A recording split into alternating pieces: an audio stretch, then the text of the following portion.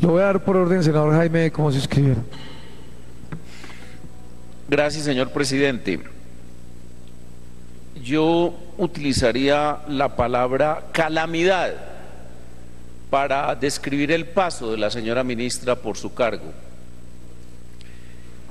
Esa calamidad comenzó con una anécdota que yo tuve oportunidad de reseñar en una de mis columnas en el periódico El Tiempo. Ella era funcionaria menor en Argentina en la época en que fue nominada por el presidente o nombrada por el presidente Santos eh, como canciller y se le acercó el general Arevalo Méndez, embajador de, de Venezuela en Argentina.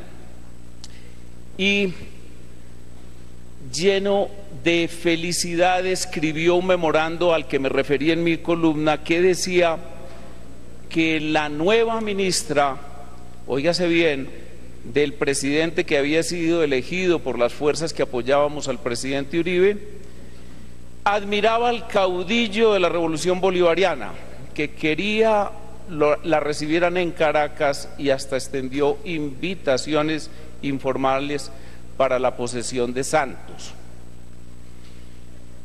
Eh, en ese memorando, fechado el 29 de, de mm, junio del 2010, hizo sonar campanas de júbilo en la Casa Amarilla y en Miraflores.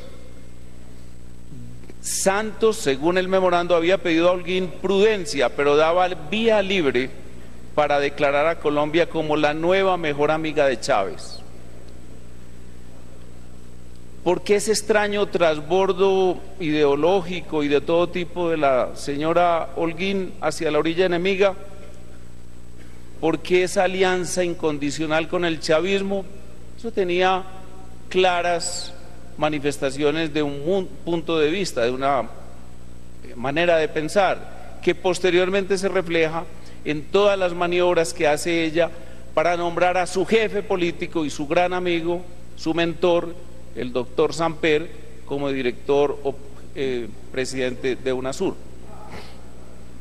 Ahora, Allí hubo, por consecuencia de esa nueva política, por ejemplo, el intento de traer a Chávez a la posesión de Santos, que impidió el presidente Uribe eh, indirectamente. Inmediatamente ocurrió una escena que incidió poderosamente en la percepción de los Estados Unidos respecto al, presidente Santos, al nuevo presidente, a lo que iba a pasar. Y fue la captura de un individuo llamado Macled.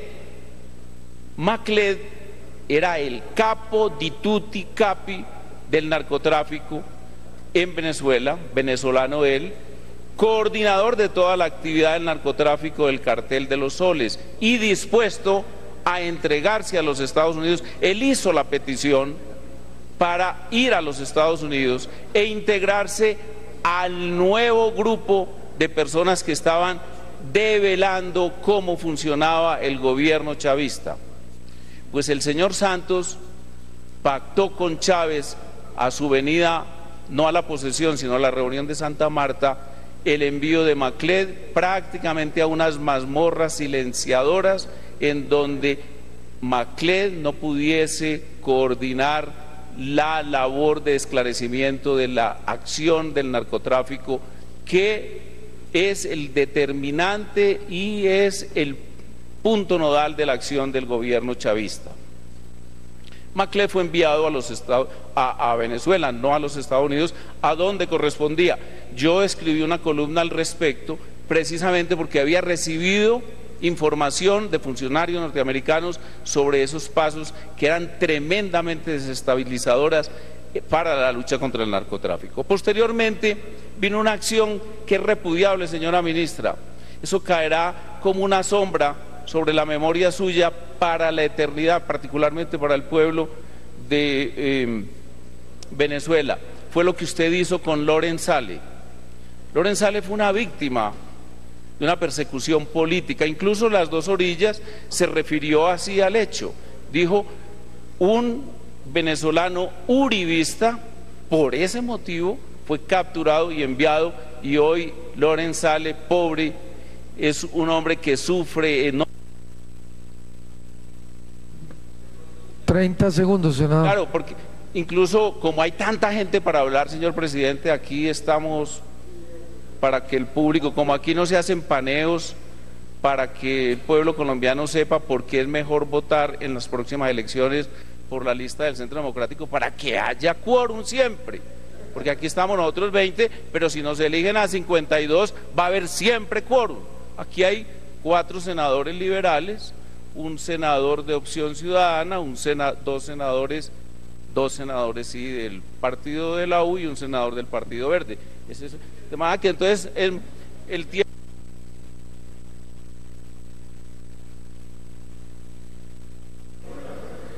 Sonido para el senador José Obdulio, un minuto más. que toda esta política que he referido, Arevalo, Sale, Macled, etcétera, tenía además un punto de culminación y era la alianza que se estaba fraguando entre Santos y las FARC y que necesariamente necesitaba un mediador.